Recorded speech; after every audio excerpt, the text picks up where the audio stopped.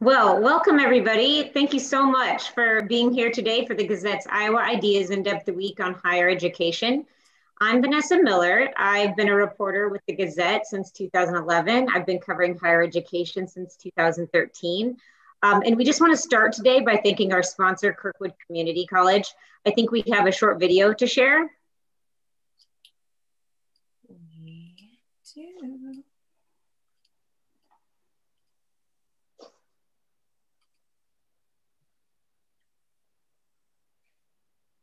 Hello, I'm Dr. Lori Sundberg.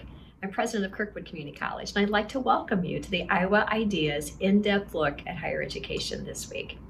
Kirkwood is proud to be a sponsor of this event. Kirkwood has been serving this region for 50 years, and I know that we're going to be serving for 50 more years. So as you think about your higher education needs, or even continuing education needs, I hope that you'll think of Kirkwood. Again, welcome to the event, and I hope you enjoy the presentations.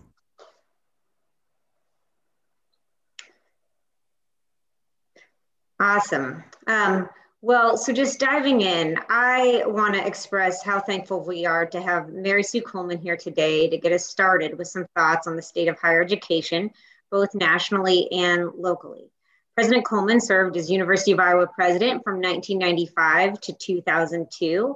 Uh, she went on to serve as University of Michigan president from 2002 to 2014, and then as president of the Association of American Universities from 2016 until last year. She served on numerous boards and councils over the years, and in 2009, she was named one of Time Magazine's 10 Best American University Presidents for her focus on research and for her success in fundraising. So, her broad background across academia and her range of roles over the years gives her a vastly well informed vantage point to assess the current state of higher education. And again, we could not be more grateful for her willingness to share some of her thoughts with us today. Um, after President Coleman's remarks, we're going to take questions from the audience. So anyone with a question uh, can type it into the chat and those will come to me to ask. So yeah, let's get started. Good afternoon. Uh, I want to thank Vanessa and the Gazette for hosting this program uh, and the program for the entire week. I also want to commend the Gazette for having a higher education reporter that's becoming more and more of a rarity in the news media, and I'm pleased that the Gazette places a value on covering such a critical segment of the community. I'm honored to open this year's Iowa Ideas program because Iowa is very important to me and it's very important to the country. I wish we could all be together in the same room, but I'm pleased people want to gather remotely to talk about higher education. When I was 12 years old, my family moved from Georgia to Cedar Falls. My parents wanted my sisters and me to have the best education possible, and Iowa provided excellent opportunities. My father taught at what was then called Iowa State Teachers College, and my mother was a public school teacher. After high school, I attended Grinnell College, where in my sophomore year, I met Cedar Rapids native and Washington High graduate by the name of Kenneth Coleman. Nearly 60 years have passed and we are still together. When I left Iowa in 1965, it was as a college graduate. When I returned 30 years later, it was to become president of the University of Iowa. It was my first college presidency and an unforgettable experience. It prepared me well for future leadership at the University of Michigan and at the Association of American Universities.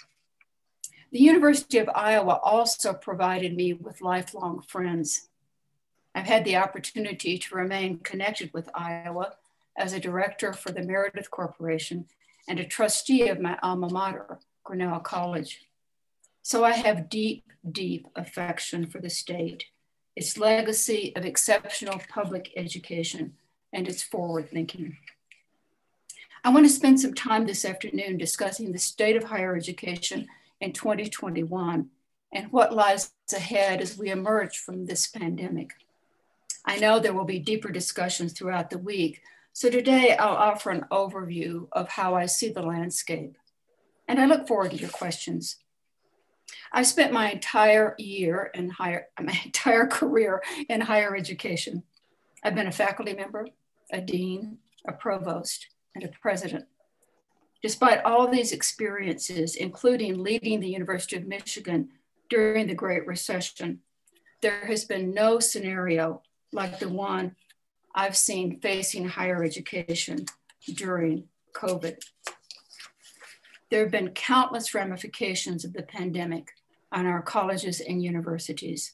We've seen lost revenue in terms of tuition, housing, dining, and athletics. Both academic and non-academic departments have been forced to lay off faculty and staff and eliminate some positions. Employees have seen benefits either eliminated or curtailed, including contributions to their retirement programs. Universities with health systems, like UI, have seen their clinics and emergency rooms overstretched by the pandemic while having to delay other healthcare services and incurring financial losses in doing so. We've seen strained relations between universities and their host communities because of off campus students who don't follow safety protocols. Most significantly, as in every segment of society, lives have been permanently lost or altered. For so many, this has been the most difficult year of our lives. I know we're all grateful and relieved that we now have safe, effective vaccines to combat this disease. We see the light at the end of a long, dark, dark tunnel, but we must remain vigilant. There's still a lot of uncertainty about the future and how it will look. I want to call out what I believe are three of the most pressing problems facing higher education as we straddle this period between COVID and recovery. And I also want to share some of the silver linings we see as the pandemic clouds lift. If there's one constant about higher education, it is that we focus on the future. So I also have some thoughts about post pandemic campus. Let's begin with the challenges. The financial picture for our colleges and universities is still coming into focus. But we know that, as with so many sectors of the economy, the pandemic has been pretty brutal. Higher education has absorbed at least $120 million, billion in new expenses and lost revenue. Revenues are down because of declines in enrollment, which translates into fewer tuition dollars that support the academic enterprise and a decrease in fees that go toward auxiliary services such as campus housing and dining. Overall, our institutions have seen their revenues drop by about 14%. It varies from state to state, of course, particularly for public universities. The University of Iowa, Iowa State, and UNI have collectively lost $185.6 million since last March. Iowa's 15 community colleges say the pandemic's financial impact carries a price tag of $21 million. These are not just numbers, they're people's livelihoods and students' futures. A key source for funding public universities is state support. The good news is that overall state support for public universities has remained steady thanks to federal relief dollars that came through the CARES Act. Still, half the states are reporting a drop in funding for universities and colleges this fiscal year. And overall, state support for higher education has been on a downward spiral for decades. But the forecast for state aid is not as dire as it was in the early months of the pandemic. The most significant source of funding is, of course, tuition. And tuition revenue is down because of declining enrollments. Students have elected not to attend because they do not want to learn remotely, or the pandemic has hurt their family's finances, or they simply want to wait out the pandemic to see what happens. Declines in enrollment hurt financially. More importantly, they hurt our colleges and universities because of the loss of talent coming through our doors. And this is what I see as the second critical challenge facing our universities the loss of human talent. Overall, nationwide undergraduate enrollment is down 3.6% since the pandemic began. That translates to more than a half a million young people deferring or ending their college plans. At community colleges, which are often a lifeline for lower income students, enrollment is down 9.5%. In particular, we're seeing fewer freshmen and fewer Black and Latino students enroll. In terms of global students, enrollments of new international students dropped by a staggering 43%. We cannot blame the pandemic and the inability to travel entirely for the decline in international enrollments. Students in other countries have been reluctant to attend American universities because of the political climate. Rioting at our nation's capital and anti immigrant rallies do not make for strong recruitment videos, and international students are turning elsewhere for their advanced degrees. Canadian and Australian universities are now looking more attractive. I applaud President Biden for ending the so called Muslim ban on immigration from certain nations and for strengthening DACA and giving dreamers hope for their futures in this country. Our doors are open to these students. Declines in enrollment hurt the intellectual diversity of our campuses. One of the most rewarding aspects of the college experience is that students are exposed to new people, different ideas, and other cultures. When enrollments decline, when we see fewer students who are German or Latino or Vietnamese or African American, it is a loss for everyone. We've also lost talent and experience through layoffs and hiring freezes in higher education. An estimated 650,000 jobs have disappeared. That's 13% of the higher education workforce. It ranges from employees who work in student housing and campus dining to scholars who've seen their departments shrink or close. We're seeing a reduction in graduate programs, particularly in the arts and humanities. More than 130 doctoral programs in the humanities and social sciences say that they will not be admitting new students for the fall. This pause creates a freeze in the talent pipeline, which does not bode well for the future of scholarship and teaching in certain fields. Let me pause with the bad news. I realize almost every sector of society is hurting. There have been some silver linings with all the pandemic storm clouds. These are bright spots, and we must leverage them for the better. First and foremost, we have seen the absolute need for science. The expertise of scientists has helped to explain and track this virus and develop guidelines for containing its spread. And aside from the space race, which undoubtedly shaped my view of how science could change the world, the, the demand placed on researchers to find a coronavirus vaccine is unlike anything I have ever seen. And that scientists have developed not one, but several safe and effective vaccines within a year is nothing short of miraculous. Not one, but three vaccines have been created, tested, and manufactured in the US within a year. Think of how long people suffered from polio and smallpox before there were vaccine, vaccines, and then reflect on the rapidity and efficacy of these COVID vaccines. It's an extraordinary testament to the power of good science. This endorsement of science goes beyond developing the vaccine. Our health systems are testing and delivering the vaccine.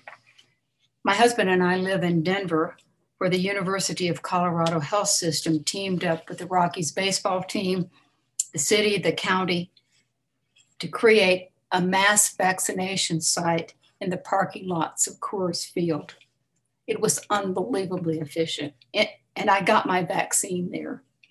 Our physicians and researchers are also working to understand this virus and its variants better. They're tracking its spread and they are developing therapies for patients dealing with damage to their hearts, lungs, and senses of smell and taste. Science has been under attack needlessly in recent years. I'm sorry that it's taken a global pandemic to validate the importance of good science. But I'm proud of the research community and the many critical contributions it made this past year.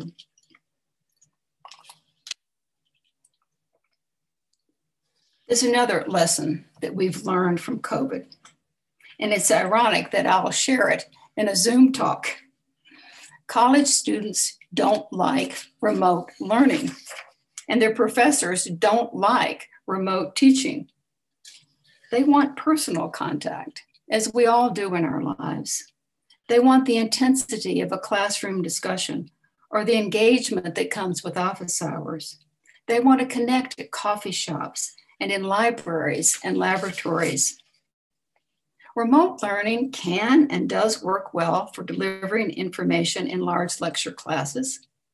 As we open our campuses this fall, many universities will continue to offer these large classes in, on, in an online format. This will help as we continue to manage large gatherings and work to avoid any surges of infection cases. But both faculty and students want the rewards of an in person experience. One survey of professors who were teaching remotely found that nearly 80% said they found it challenging to create any sense of engagement with their students. That's not what we want from our classroom experiences. So we can expect a hybrid approach to pedagogy with a mix of online and in person teaching which leads me to another benefit of the pandemic.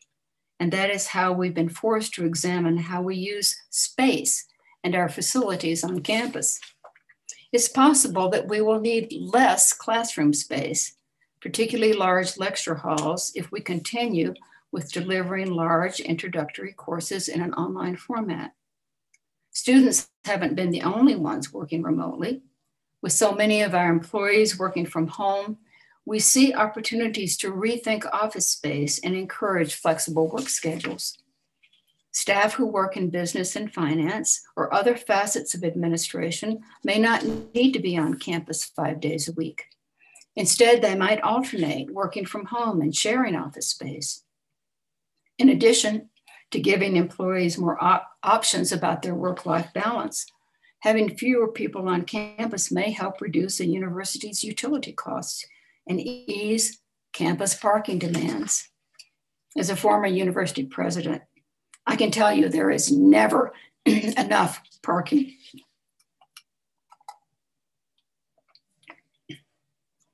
It's been one year since our campus is shut down, along with everything else in the world. It's been difficult and frustrating. There's been real loss in so many ways.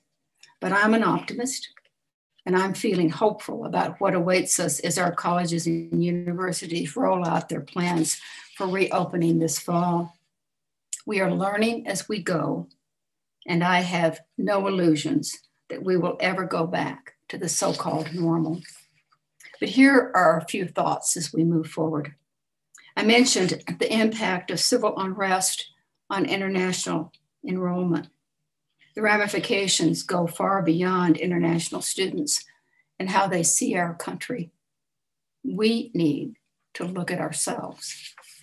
I believe our inability or unwillingness as a nation to confront racism is a significant challenge that higher education must continue to address.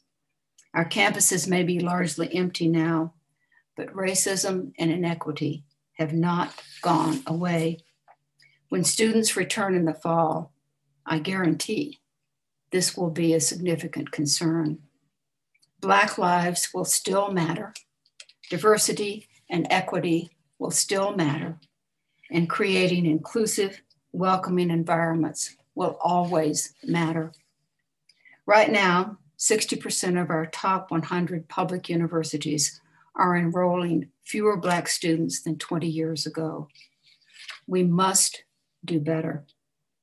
We are crippling ourselves as a society if we do not embrace and promote all of our citizens' potential. After the killing of George Floyd last summer, many universities publicly pledged to look inward and make changes to create more welcoming campuses. And then, because of COVID, most campuses remain closed in the fall. It's difficult to be remote and inclusive. Now, as we move forward to reopening, we must collectively uphold these pledges to improve and be more inclusive. And we must listen to our students.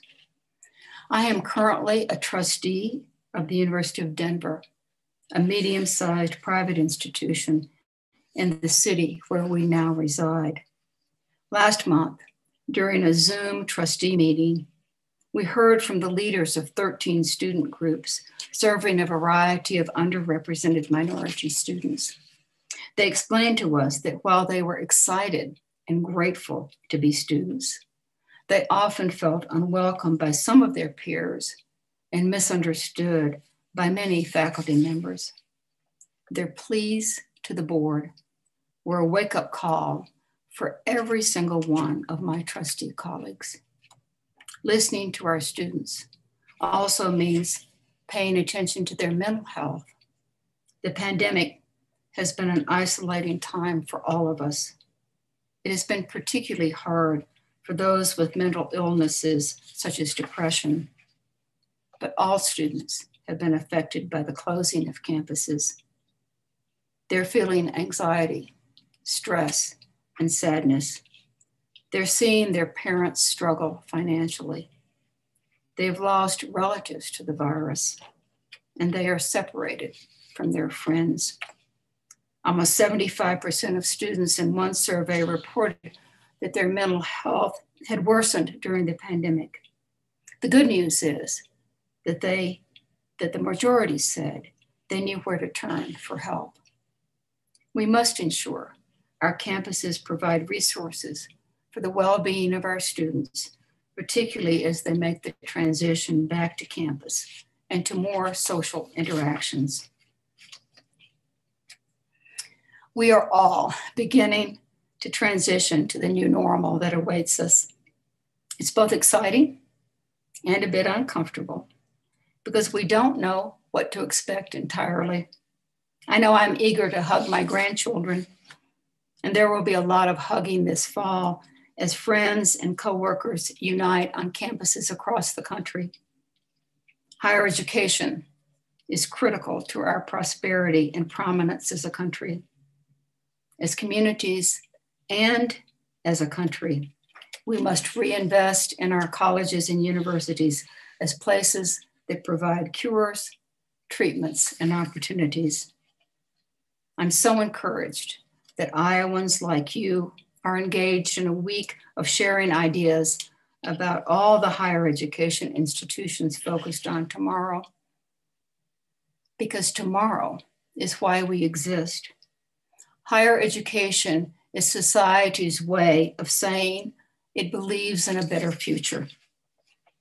It is a future that undoubtedly will bring another pandemic, but we can be better prepared. It is a future that will demand greater expertise, but by drawing on the potential of all students and scholars, we can deliver answers. And it is a future that promises educated, engaged graduates to lift up and advance our communities. Thank you for your interest today. I look forward to the discussion. Yes, thank you so much, uh, President Coleman, for sharing those thoughts. I'm sure they all ring true for many of the people listening in, whether they have been teaching remotely or learning remotely or struggling with mental health issues. I just uh, think it, it really is relevant to everybody's experience these days. Um, I just want to remind folks uh, that if you have questions, you can put them in the Q&A section um, at the bottom of your screen, and then those will come to me and I will ask them of President Coleman.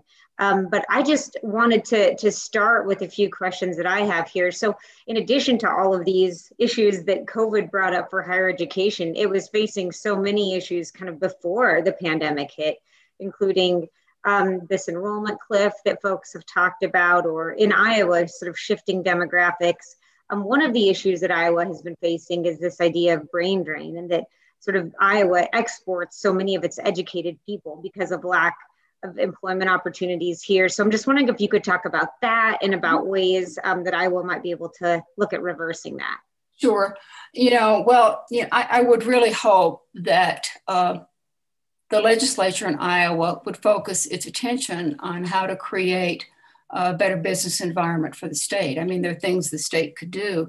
I think, particularly as funding is coming from the Recovery Act, uh, the big program that President Biden has, that, that funding will be available to the state, how the state uses that funding, if it could do it to, uh, to create an opportunity for businesses to want to locate in Iowa. I mean, there's a whole range of things to do. The other issue, though, for Iowa, I understand the problem of created an educated populace and many of the young people having to leave. But I also think Iowa could have a program to bring people back uh, when they want to settle down and have families. Uh, they may go away to the coasts uh, for, for the excitement right after college or for graduate school or whatever, but then recruiting them back to help the state prosper, I think is a very good strategy for the state. In short, you know, having an educated populace, I think, ensures democracy. It's important for the state. It's been important for Iowa uh, for decades, and I hope that that remains. Yeah, great. Um, and we we do have a couple questions kind of along that line um, regarding state support. So one person is wondering whether colleges and universities should be allocated additional resources from uh, to support students with their mental health. I don't know if that's if they mean from the state or or where that money should come from, but should that be, I guess, a financial priority both for the colleges and from from the state perspective? You know, as we emerge from the pandemic, I think paying attention to the mental health of students is going to be more important than ever. It, it's always been important. And, and one of the things that I've observed over my 50 year career uh, in higher education is that as universities open themselves up to more students, I mean, if you if you think about back in the 40s and 50s, higher education was really available only to those who were wealthy, um, and and the opening up after World War II has been a marvelous thing for our society because it generated an economic boon the likes of which the world had never seen. Uh, as we opened up our doors, though, we opened them up to students who might have mental health challenges. But that's a positive in my view because we're giving people an opportunity to have robust careers, to do important things with their lives. And yes, we need to pay attention and provide services for students that need them. I mean, one of the things that encouraged me so much about these surveys of students and their mental health issues because of the pandemic is the fact that they knew where to go for help. And what that said to me is campuses have started to provide that help in a way that is very help, you know, very good for our students. So I'm encouraged by it. Great. Yeah. And the next question is a really good one too, and one that I'm super interested in. But regarding all of the the losses that the campuses have had in terms of students and new people, new cultures, new ideas, how do you think that campus leaders should re-engage students who are returning? Um, I guess that's the first part of the question. Sure. You, you know, I, it is going, I said we're a little bit in unknown territory um, because, you know, even when you think about what campuses went through as part of the Great Recession, you know, 2008, 2009, the challenges that we face today dwarf what we had to do back in that time. Um, so we're going to be doing it gingerly. I think that university presidents, and I know they're doing this, getting together with their campus teams, deciding how they're going to reintroduce students. They surely will have a hybrid model, some online, some uh, in person. Uh, they're going to have to be careful about implementing public health protocols because certainly what they don't want to see is a rise in infections. Now, what I'm really hopeful about is that this flood of vaccines that are now coming to the country, that we'll have enough vaccine for everybody who wants a vaccine by this summer. Some, some universities are beginning to mandate that students be vaccinated before they come back mm. Mm-hmm. Uh, I'm not sure that that is going to be a universal approach, uh, but they can certainly encourage that it happen. Um, and so we'll see. I, I, it's hard for me to predict, you know, how this is going to go. And I think there's no one size fits all. Each, each campus and each campus leader will have to figure out how they're going to reintroduce students and faculty and staff because I think a lot of people are going to be nervous about coming back to campus. But you know, I we have so many good ideas in this country that I'm pretty confident that we're going to do it and do it well.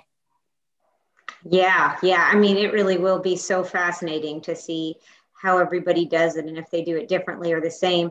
Um, one question I have is whether you think so all these students who have left or who were planning to come you know last fall and decided to take an unexpected gap year or maybe even did this semester after not experiencing fall like they wanted to i mean how do you think campuses are going to try to bring those students back after they've left? I mean i, I feel like this is kind of a unique sort of recruiting retention uh, territory Yeah, no, I, I, think you're exactly right. Um, I, you know, this is going to be a challenge. And again, it, it, will probably depend on the location of the campus, but I can see, um, you know, universities holding and colleges holding sort of Saturday sessions to introduce students back to campus. Um, I think reaching out uh, to the degree they can, kind of in a personalized fashion. I mean, one of the things that's so good about the technology that we have today is that uh, universities at pretty low cost can um, send out letters that are personalized to individual students saying, you know, uh, come on back. Uh, we have a program for you. We have a plan for you to get uh, reintroduced to the university and continue your studies. I certainly hope that these efforts are successful because I think one of the great tragedies of this pandemic would be if students don't have an opportunity uh, to learn and to give, be given options in life. I mean, I think one of the greatest things about higher education is that it gives young people options in their lives, what they can do with their careers. Uh, to be well educated um, is really going to be important. It is important now. It's going to be more important in many of the careers that we're seeing in the 21st century. Yeah, yeah. Well, in, in one question I've had for a while, and one of the tools that many students and families use, obviously, in shopping for colleges are these rankings. The US News and World Report mm-hmm. is mm-hmm. the main one I think many people look at. Um, and, and they actually have rankings, I think new graduate school rankings coming out tomorrow. They're scheduled to. So I just wondered if you could talk at all about the value of those rankings, how relevant they actually are to this to the student experience and and yeah, whether they should be, I guess, too, is a question I have. Whether students should be using them like they do, or whether they even care that much, I don't know.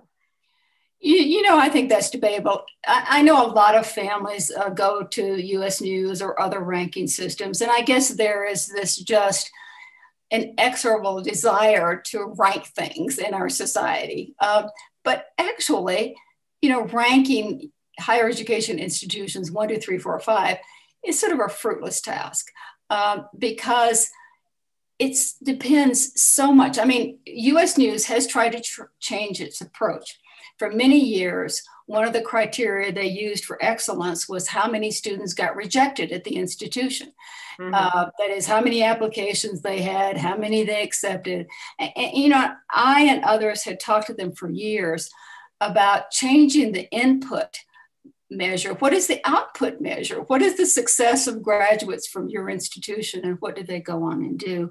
So US News has gotten better and they have a way for you to go in and adjust the parameters that you care about.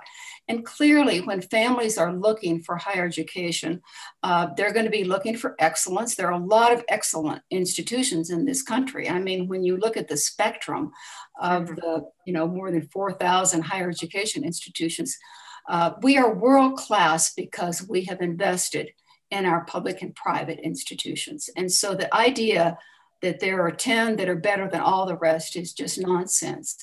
Uh, mm-hmm. Uh, what families should do is to look at what their son and daughters are interested in. The students should do the same things. Uh, what is the institution that you're interested in or the group of institutions that you're interested in? Are they good in those areas?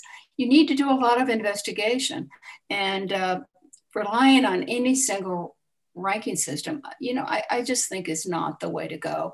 Uh, it depends on whether you want a small institution a big institution. Do you want an urban location? Do you want a rural location?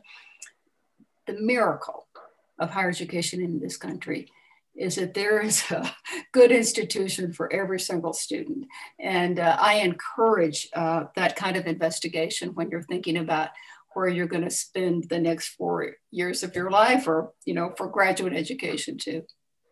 Right, right. And I think I think though just kind of jumping off of that idea though that some people think that there are like 10 institutions that really really are these elite ones. Um, this this recruiting scandal, you know, an application scandal that erupted and is now a you know a Netflix documentary slash movie with Operation Varsity Blues. I wonder, could you talk about your thoughts on all of that and and what its implications are going forward? Well, it was shameful.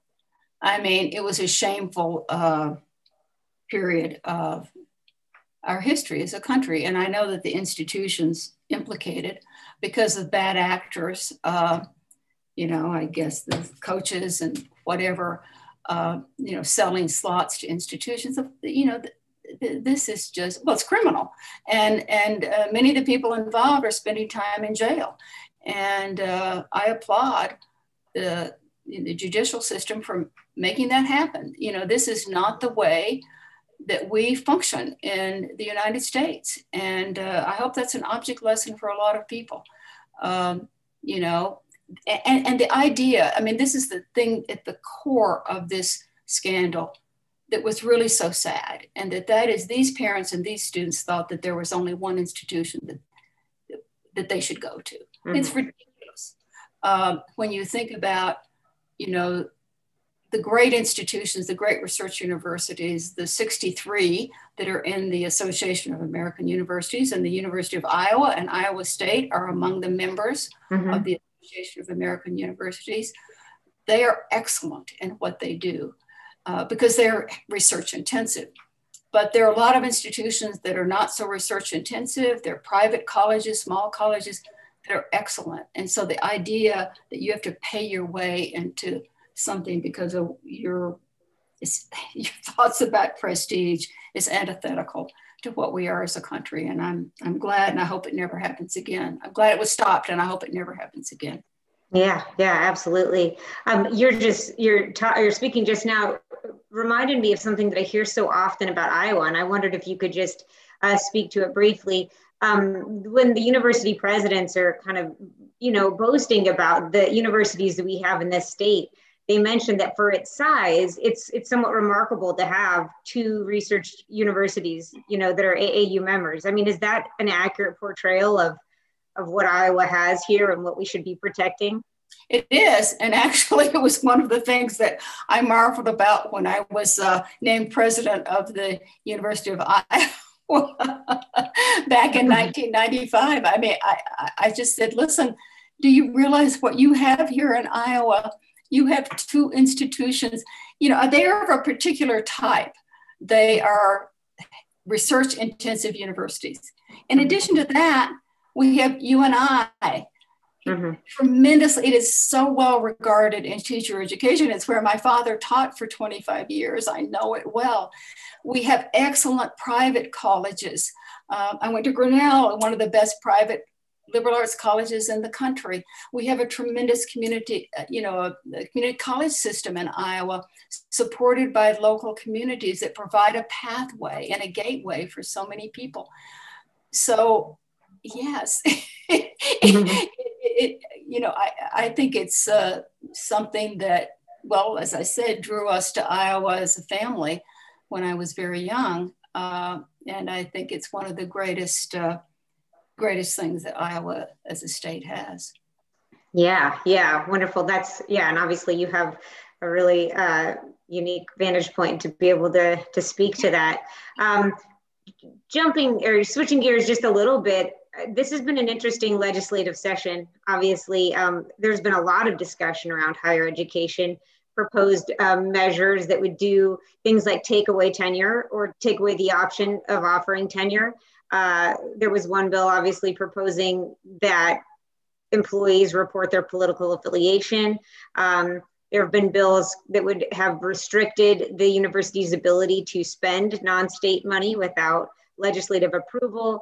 There's been bills uh, proposing that every um, amount, every sort of bit of syllabus information is made public online. So just a lot of um, of sort of government oversight discussion regarding the public higher education. And I'm wondering if you could speak to, to any of that and, and what, what you think legislators should be discussing. You know, well, it's very sad to me, um, and it doesn't represent the, I, the Iowa that I remember at all. Um, this notion, these bills, they're designed to drive the best and the brightest people away from Iowa drive away the best faculty, mm-hmm. drive away the best staff, mm-hmm. drive away even the best candidates for university presidents.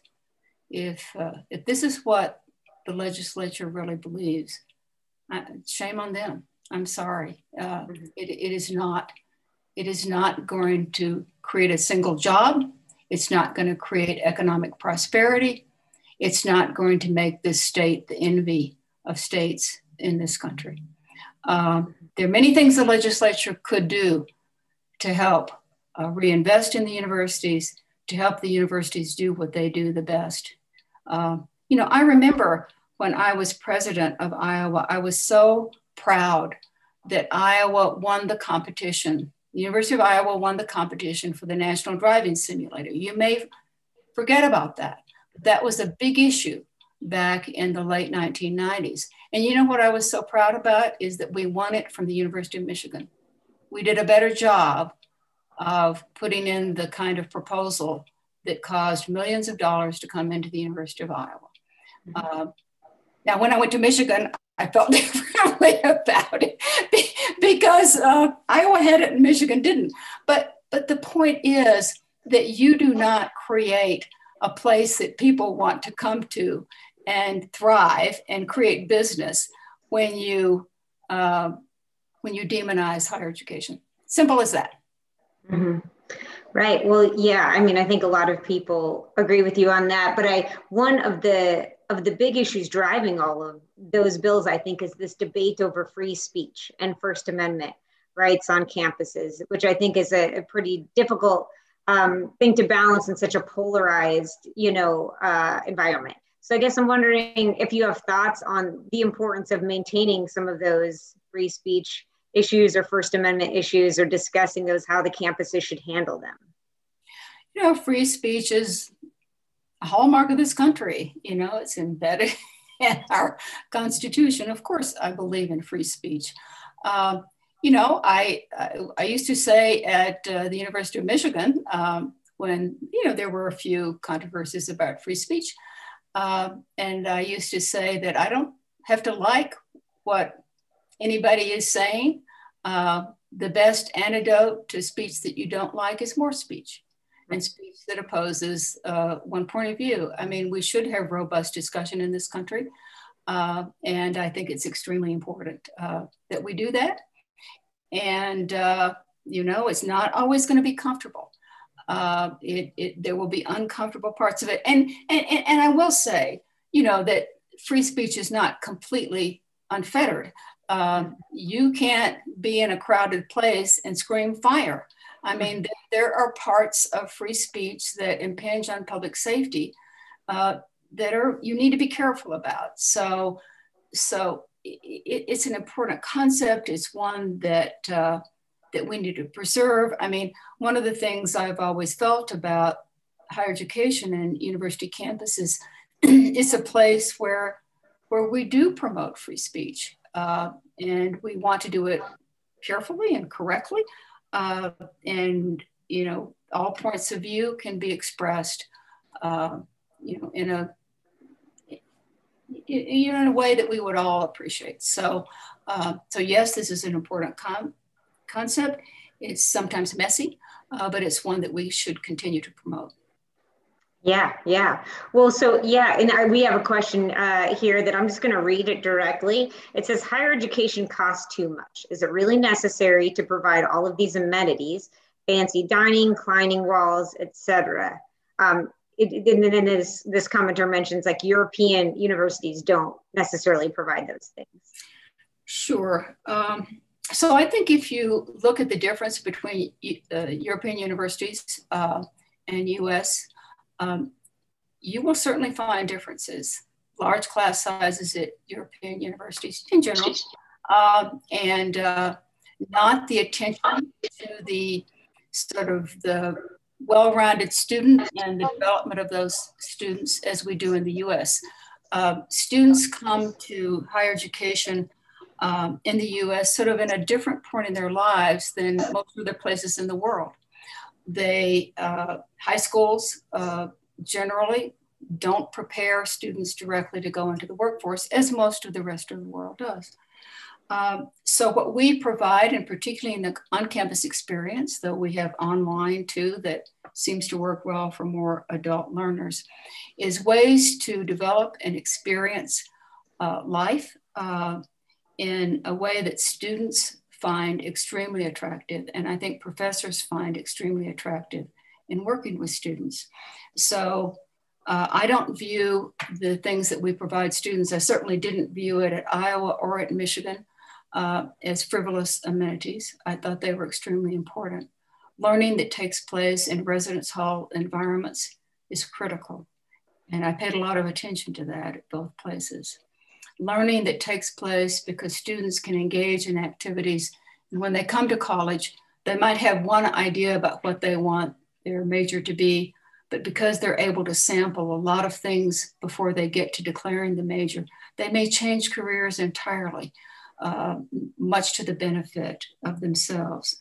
The other thing that I think many people don't understand about universities like the Iowa State, the University of Iowa, and the University of Northern Iowa is the sort of myriad of things that happen on campus that have nothing to do with undergraduate students. Mm-hmm graduate education, laboratory, intense laboratory work, research that is developing these new careers. They don't happen in pharmaceutical companies. They, kept, they happen in universities.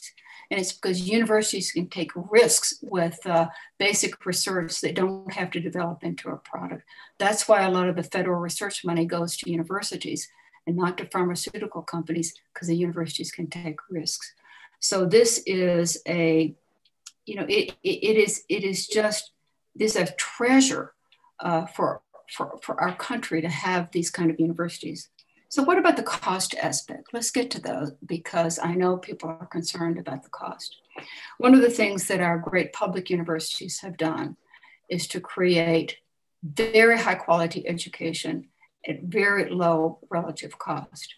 The other thing that I've been able to see over my 50 year career is the enormous growth in financial aid that's available. A combination, grants, work study, loans at low interest. And one of the things I know that the administration is working on is providing more accessibility and more low cost loans and perhaps even free community college education. Mm-hmm. these are tremendous benefits for our society. And these are things that we should continue to try to promote because an educated citizenry is going to be make our country even more prosperous in the future. Yeah, you're right. And affordability is a huge question, especially as the demographics change and, and their low income, yeah, more low income people wanting to pursue higher ed. Um, I did want to ask you about athletics. Um, some obviously, this was a really challenging year for athletics across the board with so much being canceled. And at the University of Iowa, obviously, we've seen we've seen s- severe budget cuts that they are citing as as part of the impetus to cut four sports. I guess I'm just wondering if you have thoughts about how universities should be handling those losses when it comes to athletics. You know, should they be supporting them or, you know, cutting programs where necessary? What do you think? Well, so uh, I've been involved with the NCAA as a long, long time, as you know, and I currently serve on the governing board of the NCAA, which is the highest level governing board. And so I understand intimately the financial model on which uh, intercollegiate athletics uh, has been based for a long time. And the revenue sports, main revenue sports, as you know, are football, men's basketball, and women's basketball. And um, what those revenues bring in help fund uh, the rest of the Olympic sports uh, for both, both men and women uh, mm-hmm. on most university campuses. There are very few universities that are self-sustaining. I know, I think in Iowa, there was some legislation about uh, making intercollegiate athletics self-supporting uh, for all the, the universities. And, sure. you know, this is very tough. I happen to believe that intercollegiate athletics is very beneficial. It's good for students. Uh, it is, it's good for the cohesiveness of communities. You know, I love the Iowa Hawkeyes. I love watching them. Uh, and uh, it, it, because it, it, it's it brings it's like the family it's the family coming together to cheer for something that we all care about and a lot of people who never went to university of iowa or iowa state cheer for those teams because it's something about being part of, of something that's good and, and, and i think that the opportunities that intercollegiate athletics provide to young people are really tremendous but the financial model may be broken. I know there's a lot of conversation about this now. Uh, uh, there are excessive, you know, particularly excessive payments to coaches. I will just say this outright. I think in the last decade, the escalation in salaries for coaches in certain fields uh, is something that we absolutely must address. We've been unable to do it because of antitrust, uh, but the NCAA is going both to the Supreme Court and to Congress uh, mm-hmm. to see if some of those issues might be changed. Uh, so I think we've sort of our priorities have gotten skewed and we need to rethink those priorities. And we're going to have to work on this really hard. I'm not sure, Vanessa, what all the answers are going to be, but I certainly hope that we can maintain a broad array of sports opportunities for both men and women uh, in college because I think that the good that they do far outweighs uh, the problems that they face. Right, right. I mean, obviously, many people love sports, love the athletics, just like you do, and in most years they make a lot of money, you know, for those uh, those enterprises. What do you think about the the idea of athletes wanting to be paid uh, some of the proposals around that? Sure. Uh, I've been involved in this issue for a long time, and certainly with the name, image, and likeness uh, legislation uh, that, actually we're, it's one of the things we're going to the Supreme Court for. The NCAA is going to the Supreme Court for. The NCAA, after a lot of careful thought, has put forward a proposal for what we call NIL, it's name, image, and likeness. Um, I think there are some pathways that, that, that could be uh, productive uh, for both the students and for the institutions. Uh, a model that simply pays students for participating in sport by the universities, I think, is, is very dangerous uh, and would be very damaging. Um, can you imagine what would happen if, you know, three stars on your basketball team were paid and nobody, none of the other team members were? Do you think that would help team cohesion? Uh, what about the football team? Would you pay the quarterback and nobody else? Linemen don't get paid. I mean, when you really think about the complexities, uh, it is it is extremely difficult. What all institutions need to be doing, though, is making sure that they're uh, they have scholarships for their student athletes that don't end when they stop playing. That they have scholarships through uh, obtaining their career, career their degrees. Uh, that they have good health insurance, good medical care. These are the th- things that we need to be doing uh, to make sure that we're taking care of our intercollegiate athletes. But simply paying them to play, I think, would destroy uh, what we have now, which is very special uh, intercollegiate athletics. Sure, yeah. And we're coming up to the end here, but I wanted to ask you if you have thoughts on academic medical centers, which obviously mm-hmm. Iowa and Michigan have, and the importance of uh, maintaining those those institutions that are that merge both like a hospital and a university. Yeah, you know, I was so happy that both Iowa and uh, Michigan uh, own their own hospitals uh, and that they have comprehensive medical centers. I will tell you if there's something really wrong with me or someone in my family, I'm going to get to the nearest academic medical center because that's where you combine great research, great care, great education, you know, all in one entity. It's where the cutting edge uh, happens in medicine.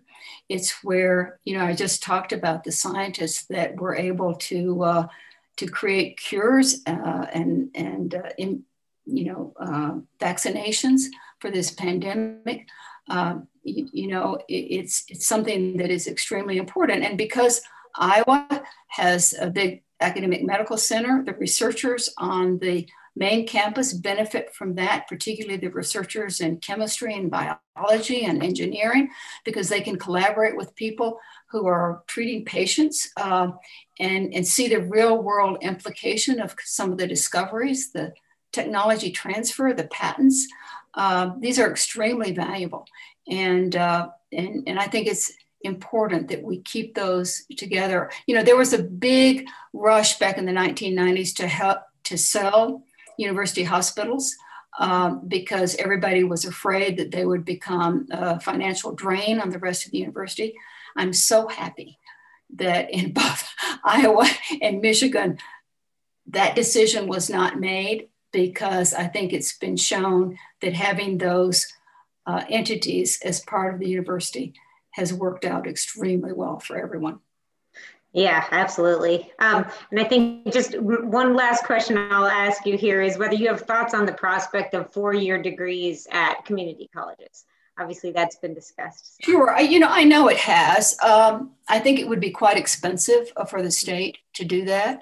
Um, right now, I don't see the need at all because, if anything, you know, Iowa has uh, plenty of seats for undergraduates that are coming in from community colleges to finish their degrees. And I just don't see it as a wise investment for the state. Great. Well, I just want to thank you again so much for participating today, for answering our questions. Um, as we close this out, I want to thank everybody for joining, for listening in. We have sessions uh, all week through Thursday. Tomorrow's uh, first session, there's two tomorrow. The first is at 11 a.m. and it's kind of a view from the top look at education in Iowa. So with like panelists like Iowa State President Wendy Wintersteen, uh, president of National Center for Higher Education Management Systems, Sally Johnstone, who's based in Colorado. Uh, and then our noon discussion will look at higher education affordability in Iowa. Um, the Gazette's full annual Iowa Ideas Conference, October 14th and 15th, again, will be virtual this year. Uh, it's going to span a range of tracks from education to environment, policy, and healthcare. It's free uh, to attend as long as you register, and that is open right now at iowaideas.com. Um, just just to note, our keynote speakers for that main event are David Gould, who's a visiting professor at the University of Iowa's Public Policy Center, and he's just an amazing speaker and an amazing man. I'm sure many of you know him because everybody seems to. Um, and then Peggy Whitson, who, who is a retired NASA astronaut, and she's a current collaborator with SpaceX. So that should be uh, very interesting, obviously. Thank you so much again. Thank you so much, President Coleman. We really appreciate your time. Bye-bye. Goodbye.